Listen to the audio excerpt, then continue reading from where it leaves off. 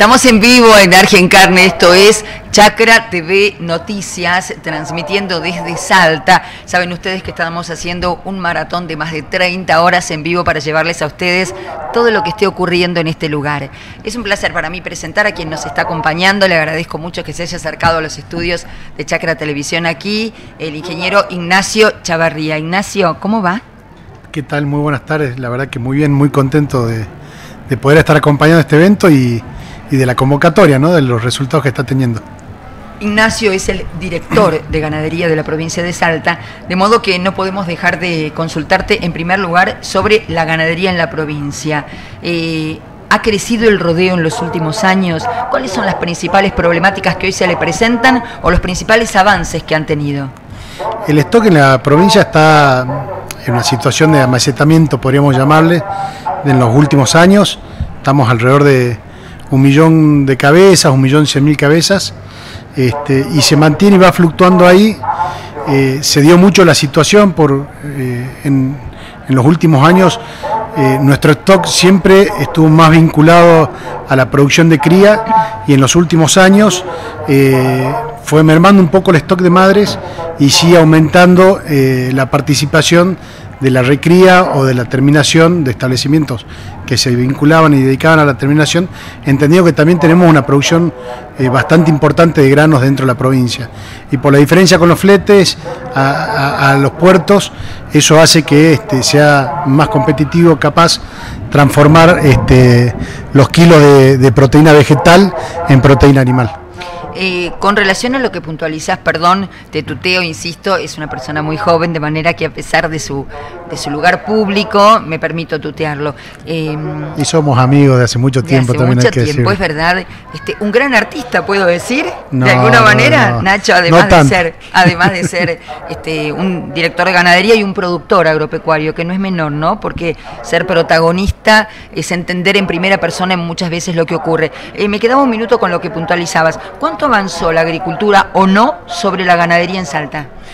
Eh, hace bastante tiempo, cuando fue el, corrimiento de la, de la, frontera agrícola este, sobre la ganadera en el centro del país, ahí sí hubo un, avance bastante importante de la agricultura en Salta, pero relativamente en los últimos 8 o 10 años se mantiene como estabilizado dentro de Salta. Sí hay una realidad que los sistemas productivos son cada vez mucho más eficientes, con, incorporación de, mejores tecnologías que permiten que también los resultados sean un poco mejores que años anteriores. Entonces, eh, muchas veces se da que la producción de kilos de carne en los establecimientos salteños incrementó, la producción de kilos de proteína vegetal en los establecimientos también incrementó, pero la superficie como que se mantiene estabilizada. ¿no? Con relación a las otras carnes, porque hablamos de ganadería y, habitualmente nos remitimos a la ganadería vacuna, pero con relación a, a las otras eh, especies, digamos, porcinos o ovinos, ha crecido, se encuentra en el mismo lugar. Vamos a hablar luego de la llama. La producción porcina en Salta sí creció mucho, eh, crecieron una un incremento muy significativo de, de las granjas de producción primaria. Aparecieron también algunos establecimientos de faena de, proyectos de emprendimientos privados, tanto de tránsito federal como de tránsito provincial, este, mucha integración de la, de la, en la cadena de la carne, ¿no? desde la producción hasta la góndola, eh, no tanto así en la cadena ovina o carne caprina también, eh, no se dio tanto así, sigue siendo algo un poco más informal. Sí en ovinos tuvimos una situación en los últimos años de, este, del incremento del stock dado por este, bueno, la participación y un poco la visión de los productores de querer empezar a transformar eso, pero lamentablemente todavía está como que le, está costando dar el, salto cualitativo y cuantitativo, ¿no? Este, limitado mucho por también por la cuestión de la faena, no tenemos hay un solo lugar habilitado en la provincia y que no tiene tanto movimiento. Se están trabajando otros lugares, otras salas de faena para, para lograr esa habilitación y poder, poder seguir. Pero yo siempre lo comparo y lo digo que es la, cadena ovina a nivel nacional, yo la veo muy similar a como fue la porcina hace muchos años. ¿no? Este, uno siempre iba a buscar el lechoncito para comer, hasta que de repente hubo un, trabajo muy grande articulado desde Nación y todas las provincias en su conjunto donde se le demostró en realidad al consumidor que no tenía que buscar el lechoncito, sino que tenía que buscar un corte específico de otro tamaño y para eso necesitaba faenarse un capón este, mucho más grande, ¿no? Este, entonces se, se, adecuó este, toda la cadena, perdón, se adecuó a, Doña Rosa, como se dice en la jerga, se adecuó al mercado, eh, realmente a, lo que necesitaba un poco eh, toda la cadena para ser rentable y para poder realmente aprovechar todo el potencial de, las razas eh, carniceras que se producían. Estamos conversando con el director de ganadería de Salta, Ignacio Chavarría. Ignacio, eh, Pienso en lo que acabas de puntualizar de los ovinos. Recuerdo que la última promoción a nivel nacional, corregime si no es así porque sos el experto, era el de las hamburguesas de cordero, como para salir del corderito o de hacer un cordero al horno, eh, perdón, a la parrilla o al asador cuando hay una reunión familiar. Desde la provincia, ¿se incentiva esto de los cortes o tiene que ser a nivel nacional? Y además, la demanda del consumidor en Salta, ¿cómo es? A ver, vamos por parte. Primero, eh, la campaña que se, que se realizó, creo que si no me equivoco, fue en 2018-2019, una campaña masiva de este, intentando fomentar el consumo de la carne ovina. Este, parte de lo que se promocionaba de, la hamburguesa en realidad era para poder hacer que la gente conozca más rápidamente el sabor de la carne ovina y empiece a, a incorporarla en la dieta y a buscarla. Obviamente que en una hamburguesa uno puede mezclar distintos cortes. Después viene el trabajo de trabajar distintos cortes, que hoy lo estamos viendo acá, de cómo preparar distintos cortes para llevar distintas alternativas de platos a la mesa. Eh, con cada una las bondades de los cortes, no son los mismos los cortes del, cuarto delantero, del cuarto trasero, este, de las costillas, de los lomos, entonces, eh, un poco de esa situación.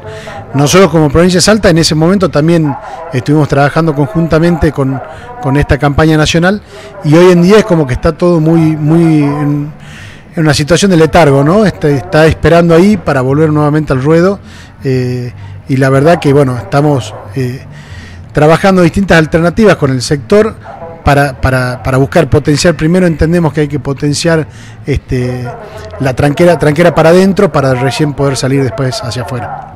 Como director de ganadería de la provincia, ¿impactó, sabemos que no al nivel de la región centro o de la zona núcleo, pero impactó la sequía en, en la producción local? Sí, nosotros tuvimos eh, un impacto bastante bastante fuerte. Perdón, ¿y la helada fuerte la sufrieron de noviembre? Sí, subimos, sufrimos en todo el, el sudoeste de la provincia, que es eh, zona de precordillera y cordillera, tuvimos heladas muy complicadas y tuvimos la emergencia en todo el sector vitivinícola y parte de, ser, de un sector horticultor también se vio afectado en todo lo que es el Valle Calchaquí, como le llamamos en la zona de la región nuestra, eh, y después la sequía en, casi toda la provincia se manifestó muy fuerte. Eh, y para el sector ganadero vino fue un impacto mayor capaz al sector agrícola que, que hubieron algunas lluvias un poco más tardías que ayudaron a componer en algunas regiones un poco más, pero que igual viene, viene golpeado. Pero en ganadería se da la situación de que no es un fenómeno que haya sido puntualmente de este año, sino que es un acumulado de los últimos tres años, donde venimos en, en, una situación de, descenso, ¿no? este, de, las precipitaciones, de la dispersión de las precipitaciones, eh, en los momentos óptimos no se fueron, no fueron acompañando. Nosotros, eh, a, diferencia por ahí del centro del país o del NEA, tenemos que las precipitaciones están muy marcadas en el periodo de verano. Este, y las altas temperaturas, eh, las pasturas que nosotros tenemos, surgen con esa, rebrotan con esas altas temperaturas y la humedad de las precipitaciones. Cuando esas condiciones no se dan, tenés pérdida de, de mucho este, potencial de ese de, esos kilos de materia verde que no se manifestaron, que no lograron que los animales estén en condiciones para preñarse, hubo mucha merma en las preñeces en los establecimientos, pequeños productores que sufrieron mortandad de animales, muchos productores tuvieron que salir a vender animales mucho más livianos de los que acostumbraban en sus, en sus esquemas eh, productivos, así que este sí tuvo un impacto bastante fuerte en la producción salteña. ¿Y para el invierno? Para el invierno ahora tuvimos una situación eh, que veníamos muy golpeados de tres años y tuvimos un fines de marzo y abril bastante, bastante húmedo, podríamos llamarle, que acomodó un poco el pasto. Pero muchas veces uno mira, parece que está voluminoso, pero en realidad es pocos kilos de materia, de materia verde. Eh, hace un par de semanas atrás analizamos con gente de, Acrea este, cómo era la producción de, materia seca por hectárea en la provincia, en las pasturas, y estamos en, los pisos de los últimos 15 años, ¿no? Este, con lo cual está bastante complicada. Tenemos esperanza de que eh, siempre el productor agropecuario siempre tiene esperanza y por eso eh, el productor tiene la esperanza de que Ahora la agricultura algo va a acompañar, lo va a lograr este, pasar un invierno duro, que va a ser duro por supuesto, pero que nos va a permitir llegar con, ánimos este, a la próxima primavera y verano para tratar de, retomar y salir adelante nuevamente. Dos preguntas más tengo agradeciéndole, agradeciéndote enormemente el tiempo que nos brindaste. ¿Cómo está en materia de industria frigorífica la provincia? Hay, eh, porque eh, suele ocurrir que cuando hago esta pregunta a la industria frigorífica me dicen no podemos poner más establecimientos porque falta stock. Y cuando voy con los productores me dicen tenemos stock pero no tenemos los frigoríficos suficientes. ¿Pasa en Salta o no? Eh, pasa de que se dicen las dos cosas. Claro. Hay una realidad que nosotros producimos este, alrededor de 400, 450 eh, novillos que salen desde la provincia con destino a faena, tanto dentro de la provincia como fuera de la provincia. En la provincia se están faenando alrededor de de 200, 220 mil cabezas, con lo cual, con ese análisis uno puede decir que el 50% de los gordos que se producen para faena se faenan dentro de la provincia. Eh, hay muchos establecimientos de tránsito provincial o de tránsito federal que dicen, que manifiestan, y que es cierto, que tienen cierta capacidad ociosa en sus establecimientos. Ahí entran en juego y en discusión un montón de otros factores que no es solamente la cuestión de volumen, sino también hay que ver hoy el, todo el tema del recupero de las salas de faena no es lo que era lo que fue en otro momento y que te permitía a vos también tener eh, otros márgenes dentro de la industria. La industria está bastante golpeada, eh, pero pasa en todos los en todos los lugares del país, no, no solamente acá. Pero sí es una realidad de que por un lado da la sensación de que este, de que nos falta este, nos faltan industrias en Salta. Por otro lado, hay industrias que están sobrepasadas, que están en el límite de sus posibilidades, y hay otras que tienen capacidad ociosa. Pero bueno, ahí ya entra en juego, este, como te decía recién, un montón de otros factores y, este, y que es más complejo el análisis para determinar este, hasta qué punto uno es rentable o no, y eso no siempre quiere decir que sea ineficiente o no. Entonces, eh, creo que por ahí para una charla un poco más profunda y que nos llevaría bastante más tiempo. Y que también estarían buenos que estén sentados los la distintos actores, ¿no? Para, Como siempre digo, para el debate virtuoso. Totalmente de acuerdo. Em, y corre por mi cuenta, la última pregunta. Hubo en confederaciones rurales argentinas, a mi criterio, una generación dorada de ateneístas que hicieron escuela y dejaron después un camino para muchos otros que pudo saltearse, caer en algún momento, subir con los avatares de los tiempos. Eh, ser un ateneísta implica participar, esencialmente. Participar en involucrarse. Eh, muchos de esos, muchos no, algunos de esos ateneístas de la generación dorada hoy llevan adelante tareas ejecutivas en la función pública y hablo eh, de Tia Belausti, con quien hablamos, eh, de, Nacho, de Ignacio Mántaras, con quien también conversamos. Y justamente hoy sábado, para los que nos siguen en Chacra Televisión, es la gran reunión de los jóvenes ateneístas que se hace cada tanto, en este caso aquí en Argencarne. El mensaje para todos esos jóvenes, muchos de ellos, como lo estamos viendo en un año electoral, uniendo las dos cosas, ¿no? La participación, descreídos o desganados o sintiéndose alejados de su propia pertenencia. ¿Cuál es el mensaje de un joven a mi criterio, de la generación dorada. Bueno, qué responsabilidad me pones en eso. Eh, a ver, el mensaje que yo siempre les doy a, los chicos de los Ateneos y chicos que por ahí no están involucrados es, eh, primero, involucrarse. Eh, no tiene sentido de nada el que nos quejemos y critiquemos si no proponemos alguna opción, alguna propuesta, valga la redundancia, para transformar esa realidad de la cual hoy no estamos, no estamos de acuerdo, ¿no?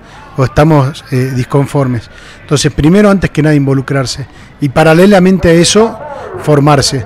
Formarse como futuros dirigentes, como futuros líderes, como, como, futuros empresarios, como futuros profesionales, eh, como futuros docentes, lo que fuere, pero a conciencia para trabajar y cambiar esa realidad que entendemos todos eh, a mí me pasó en esto de estar en la función de por ahí compartir con gente que piensa como uno o gente que piensa totalmente distinto. Y yo siempre encuentro en todos el mismo punto en común. Todos somos unos enamorados de nuestro país, unos enamorados de la producción y todos queremos siempre lo mejor y que todos crezcamos. Entonces, después si pintamos la pared de blanco, de negro, de verde, es otra discusión y que muchas veces perdemos energía y el sentido en esa discusión y no en el que estamos todos convencidos que hay que recuperar la pared y hay que pintarla. Este, para hacer algo más, para trascender de alguna manera. Y creo que pasa por ahí, ¿no? En el involucrarse, formarse, participar, participar, participar, participar. A veces uno se cansa, pero las cosas se transforman desde adentro, ¿no? Eh, trabajándolas. Eh, yo siempre digo, uno puede mirar un potrero y lo ve y dice, qué bien, se ve, qué bien podría eh, darse ahí una chacra de maíz. Pero si uno no la siembra, si uno no la, no, la trabaja, no la fumiga, no la cuida, nunca se va a dar el maíz. Entonces, es eso, ¿no? Eh, preparar la tierra, involucrarse, estar ahí, trabajar y, para que se pueda mostrar todo el potencial. Ignacio Chavarrier, director de ganadería de la provincia de Salta, muchísimas gracias. Muchas gracias a vos por el espacio y bueno, y saludos a todos los televidentes. Vamos a una pausa, enseguida volvemos. Muy buenas tardes. ¿Cómo le van a todos? Bueno, muchísimas gracias por estar acá presente, acá en nuestra provincia de Salta, Argencarne. Qué lindo que hayan venido a competir. ¿Ustedes fueron a ver ya los asadores? ¿Vieron qué lindo? Bueno, hoy qué vamos a presentar. Yo me presento, primero soy Chef Normazar, soy de la provincia de Salta, estoy representando a nuestra provincia. ¿Y qué vamos a brindar hoy día? Vamos a dar una clase magistral. ¿Y de qué? ¿Qué voy a cocinar hoy día? ¿Qué piensan ustedes? ¿Qué puedo llegar a cocinar? Ustedes ya están viendo y observando. Lo escucho. A ver, vamos. ¿Qué piensan? Allá no, porque ya saben. Cazuela de conejo, dice. ¿Qué piensan por ahí que voy a cocinar? ¿Qué puede ser? ¿Qué puedo mostrar yo desde Salta que tenemos nosotros? Nuestras raíces, tenemos comida ancestral, ¿no es cierto? Tenemos comida colonial, tenemos comida regional. ¿Es así o no? ¿Sí? Y si digo ancestral, ¿a dónde me remonto? ¿Qué piensan? ¿Qué puede ser que eh, cuando yo digo ancestral puede haber de ingredientes? Quinoa, ¿qué más? ¿Qué más? Piensen, ancestral, ¿qué producto? Papas, ¿qué tipo de papas? Papas andinas, no se dice papines, se dicen papas andinas, yo para aclarar siempre, los productores son papas, porque son papas, realmente nada más que es una variedad de papa andina. ¿Qué más? ¿Qué otro producto más? Ya dijimos papas andinas, dijimos quinoa. ¿Qué más? Vayan observando, no están mirando. Miren la mesa, hay un montón de productos acá. Tenemos choclo, tenemos el maíz, ¿sí? Variedades de maíz. En este caso hay un maíz amarillo. ¿Ustedes saben cuántos granos tiene una mazorca? ¿Vos sabés? ¿Saben cuántos se pusieron a contar? Nunca. Tiren un número, vamos. ¿Cuántos granos tiene? Acá ya le faltan varios, pero ¿qué piensan ustedes? Tiren un número, vamos. 200. ¿Qué dice? ¿Quién da más? ¿Quién da más? 500. ¿Quién dijo 500? 500 granos tiene una mazorca. Miren ustedes, 500 semillitas que nosotros podemos plantar y tenemos nuestra chacrita. con una sola mazorca tenemos 500.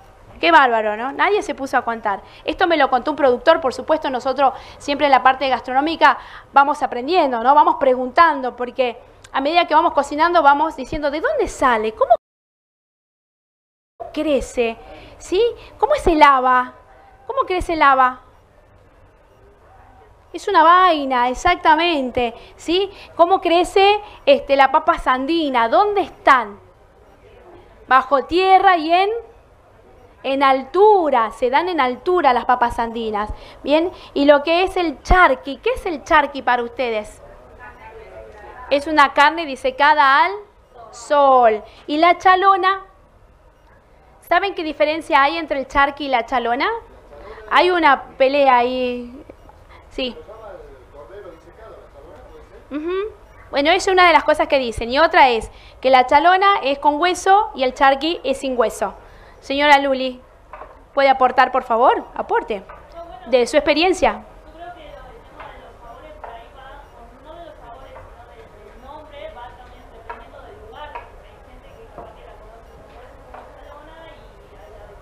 Y, como chalona. Exactamente. ¿Y nosotros acá en Salta? Exactamente. Muy bien. Bueno, bueno, hablamos de varios ingredientes, papas andinas, haba, el maíz, el charqui. Qué hermosos productos que tenemos nosotros. Y estos ingredientes que yo acabo de mencionar, ¿sí? El primero de agosto, ¿qué le ofrecemos a nuestra madre tierra? Muy bien, señora, pase por favor, pase. Habas, venga, pase y comparta lo que usted sabe también. Habas, habas, las papandinas. Nosotros le ofrecemos lo mejor ¿sí? que tenemos de la cosecha que tuvimos. ¿sí? Separamos la semilla, la hacemos secar. ¿Cómo se llama? Las papas andinas secas. Chuño y papatunta. Chuño es la negra y esta está secada al sol, ¿sí? Por eso se hace negra, se deshidrata.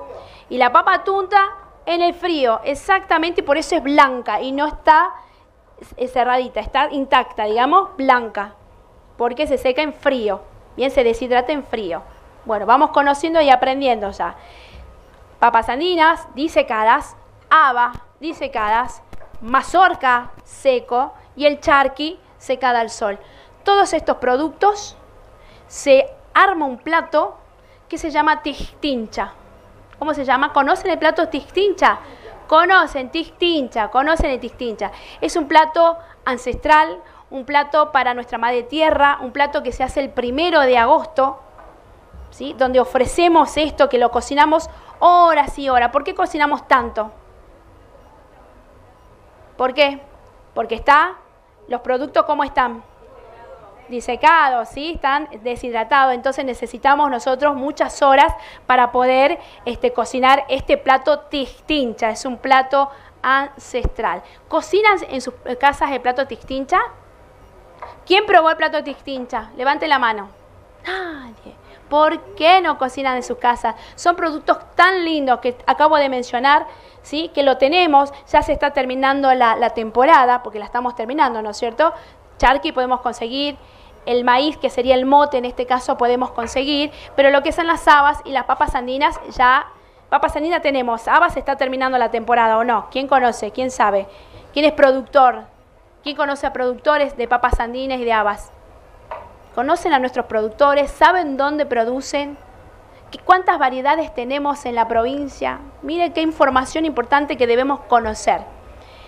Y este plato, que acá yo ya lo tengo porque hemos dicho que lleva horas y horas de cocción, que yo ya lo tengo cocinado, es un plato que tiene un aroma único, unos sabores increíbles, que marca el sabor de nuestra tierra. Mire qué importante, sabor de nuestra tierra. Yo cuando pruebo esto, inmediatamente me traslada a esos lugares de altura, frío, ¿sí? Y que me calienta y que me alimenta, que es la parte más importante, que nosotros tenemos que consumir productos que nos alimentan, que está alrededor, esto que llamamos a veces kilómetro cero. Lo que está alrededor es lo que nos alimenta. Lo que está en el sur me alimenta. ¿Qué dicen ustedes al sur del país? ¿Nos alimenta? Sí, nos alimenta, pero de forma diferente. Pero nosotros crecemos acá. Crecemos acá con estas raíces, con estas tradiciones, con esta tierra, el terruño que no nos enfermamos cuando comemos nuestros productos. ¿sí? Eso pasa. Por ahí cuando comemos cosas de otros lugares, posiblemente no podemos, algún dolor de panza, algo porque no estamos acostumbrados. Miren lo que es. Entonces, consumamos lo que tenemos a la vuelta. Tenemos gran variedad de productos. En este caso, el plato es tistincha. Señor Lucho, si usted me puede prender esta ollita, la pirula. ¿Quién le gusta la ollita de hierro? Qué hermoso, para cocinar a leña. Hubiese sido hermoso poder cocinar allá, ¿o no? A leña, a brasas, que se puede. Podemos cocinar todo lo que queramos, podemos hacer a, la leña o a las brasas. Todo lo que queramos, chicos. Bueno, acá vamos a mostrar. Acá tenemos, vamos a poner un poco de grasa. Grasa de cerdo. Qué rica. ¿Probaron la grasa de cerdo? El aroma, que es diferente a la vacuno, ¿no es cierto? Vamos a poner y vamos a poner las habas. En este caso, yo en realidad tengo que poner, hacer un salteadito, ¿sí? De cebolla, de pimiento, salteo, no lleva más nada. Y todo estos ingredientes que estoy poniendo acá. Y más nada, pero ustedes ya van a probar el sabor que solito le otorga. Hasta ni condimento le diría yo que habría que ponerle. Por ahí un poquito de qué puedo llegar a poner, que es nuestro de la región. Pimentón, puedo poner pimentón, que eso le va a dar el sabor característico que tenemos acá. ¿Qué más puedo llegar a poner de condimento? Comino, pero ¿cómo tiene que ser ese comino? Muy sutil, muy así que le dé un aroma. Un buen comino, chicos, ¿no es cierto? Un buen comino. ¿Cómo? Mejor tostadito, qué lindo. Ah, señora, muy bien, usted sabe. ¿Sabe cocinar? Claro que sí. Muy bien, así me gusta. Bueno, yo con todo esto que voy mezclando y voy mezclando y se va cocinando, va tomando el sabor de las papas, de las habas, del mote, del charqui. Tengo que tener mucho cuidado con que yo cuando voy a cocinar porque pongo charqui. Con la sal, porque el charqui tiene sal. Así que yo tengo que poner después, después que le ponga el líquido, después que yo salte, lo dejo cocinar un poco y de ahí saca su sabor y de ahí pruebo y si le falta le pongo un toquecito nosotros tenemos que consumir menos sal, ¿no es cierto? ¿Es así o no? ¿Están de acuerdo o no están de acuerdo? tenemos que comer sumamente moderado, utilizar la sal. Pero ¿por qué digo yo esto, la sal? ¿Ustedes alguna vez han probado las papas andinas sin sal? El mote sin sal, las habas sin sal, un pimiento sin sal, una cebolla sin sal. O sea, sentir los sabores de cada uno de estos productos. Es increíble. Cada uno así, yo un tomate solito, sin sal. Un asado sin sal. ¿Han probado? Un asado. Hay muchos que no se imaginan el asado sin sal y no saben lo que se pierden. No saben el sabor característico que tiene la carne en sí porque la carne tiene azúcares y con nosotros lo ponemos en la brasa genera ¿sí? Este, esta caramelización que le llamamos efecto Maillard, que esos aromas que me encanta comerlo y llevarlo a la boca, pero sin sal, no es necesario la sal. ¿Estamos mal acostumbrados? Sí, estamos muy mal acostumbrados a ponerle sal. Pero prueben en algún momento, en alguna oportunidad que puedan, sin sal. Bueno, señor Lucho, me pasa por favor un cucharón porque mientras vamos hablando, vamos comiendo o no. ¿Qué le parece? ¿Quieren comer o no? Claro que sí. Apágame este, por favor. Este, mira. Vamos a ir comiendo. Entonces, dijimos, ¿recuerdan que lleva el plato tistincha? ¿Qué lleva? Vamos, vamos, mencionen. A mí me gusta que participen. Papas, habas, cebolla, grasa de cerdo, el charqui. Bien, el mote que es el maíz, en este caso el mote. ¿Y algo más? Uy, no saben el aroma que tiene esto. Bueno, hay, nosotros acá en Luracatao, por ejemplo, para la fiesta primero de agosto, hacen, el plato, hacen este plato tistincha y le dicen tistincha que quema los dientes. ¿Pero por qué? Porque es un juego que hacen, porque siempre, siempre detrás de todas estas eh, tradiciones que uno este, genera, hay siempre un juego. Y en este lugar, como son, llevan horas y horas de cocción, ¿sí? Tienen que acompañar, tienen que estar presentes, como antes cuando hacíamos el locro, que lo poníamos a la madrugada y teníamos que mezclar y mezclar. En este caso es así, se pone a la noche, toda la noche se está cocinando el tistinche, entonces no tiene que dormirse nadie. El que se duerme sacan una mazorca y le queman los dientes. Por eso dice así, así que nadie se duerme, le aseguro que nadie se duerme. Esto es un juego que lo hacen en el huracatao. El tistincha. Yo ahora, mi asistente y amigo, va a pasar, porque yo quiero que pase y que ustedes coman y prueben, ¿sí? ¿Sirvo más o no? Vamos a poner acá. ¿Y con qué vamos a acompañar esto? ¿Qué piensan ustedes? ¿Con qué puedo acompañar? Con un buen queso de cabra. Y este queso, conocemos diferentes tipos de queso de cabra, y este queso está estacionado por 120 días. ¿Ustedes se imaginan qué generaría? Hay quesos frescos, nos gusta mucho, pero realmente cómo los aromas, los sabores se transforman cuando lo vamos estacionando. Así que vamos a probar con queso de cabra. ¿Quieren que le ponga al tistincha y podamos compartir? Vamos por acá. Acá esta producción es de los Aurelios que tenemos acá en la provincia de Salta, donde ellos hacen diferentes tipos de queso, muy bien elaborados, sutil, rico al paladar, con diferentes aromas. Vamos por acá, miren, ¿pongo más o no? ¿Qué dicen? Vamos, participen o no quieren comer. Ah, ahora sí, ahora sí. Vamos, señor Lucho, por favor. La gente quiere probar. Yo voy a poner acá, espere, cucharilla que están allá. Yo voy a mostrar acá, porque tengo que mostrar, por supuesto, lo que estamos haciendo. El plato tincha papas andinas, haba, mote, charqui. Y lo acompañamos con queso de cabra. Vamos, señor. Usted van a ir probando mientras yo voy hablando, van degustando, porque de eso se trata, porque yo, la idea es poder cocinar, pero también que ustedes puedan probar de lo que estamos hablando, ¿sí? Sí. Está, ¿por qué? ¿Qué dicen ustedes? Yo tengo una respuesta. ¿Qué dicen ustedes? ¿Por qué no lo cocinamos acá en la provincia de Salta? Exactamente. ¿Y qué importante es? Es muy importante valorar lo que tenemos, lo que dije yo. Nos alimentemos de lo que nos da alrededor. Y eso implica que nosotros vayamos al mercado, compremos papas andinas, compremos habas y tengamos en nuestra heladera. Abramos y ¿qué cocinamos hoy? ¿Sí? Unas papitas salteadas, ¿bien? ¿Qué más? Pues unas habas en puré de haba. Acá de charqui y tenemos Imagínense todos los valles. Todos los valles tenemos. Acá tenemos, hacemos charqui, ¿no es cierto, Luli? Luli está en Huachipa y hace charqui. Depende cuál.